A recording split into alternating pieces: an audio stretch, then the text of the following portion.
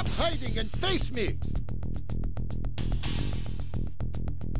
Gabe, I've cornered Gregorov. He's not going down without a fight, but we need to keep him alive. Do you read? Gabe! Do you read?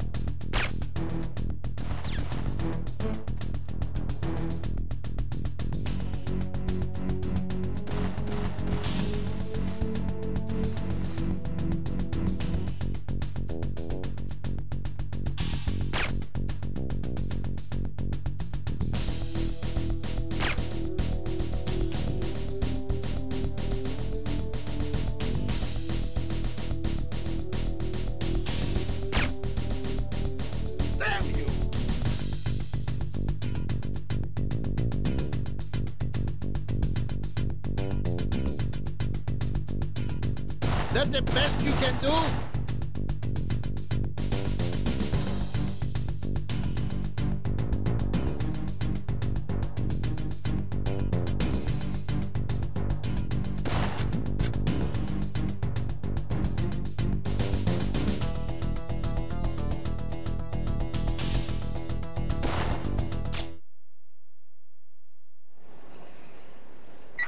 Lian, are you there?